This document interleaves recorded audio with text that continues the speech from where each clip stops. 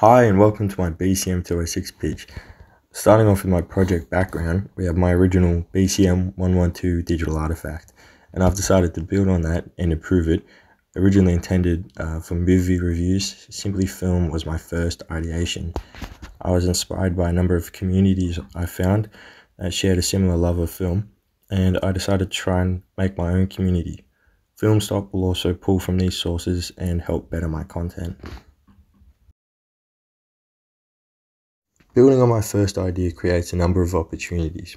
Not only can I see my original project evolve into a better version, but I can both uh, learn from and entertain a like minded community.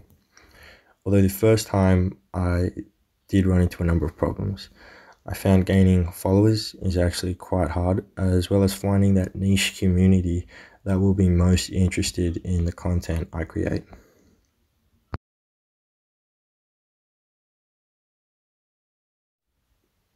Instead of just once a week, I will now produce content multiple times and on a scheduled basis.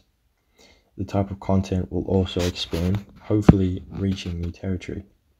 To try and fix the issues that I came across last time, I will advertise over a number of platforms and I will attempt to contact similar film pages in order to gain as much information as possible.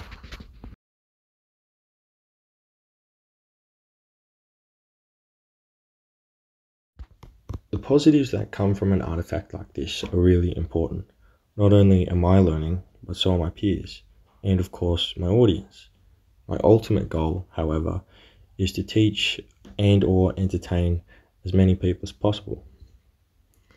This is not just an assignment, but should hopefully further my future in film and serve as a timestamp in my progress, helping me again further my knowledge for the future.